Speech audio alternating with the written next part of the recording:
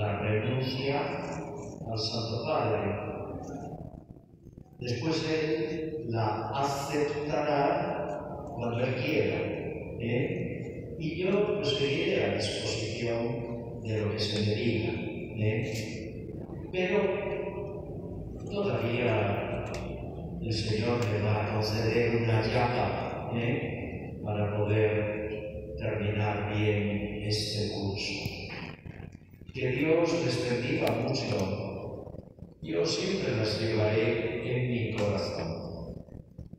Recen mucho por mí, recen también por el nuevo obispo que venga, recen para que nuestra iglesia sea siempre iglesia viva, que Cristo habite en ella y que cada uno de nosotros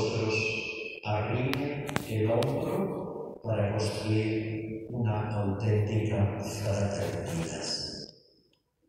El Señor esté con ustedes.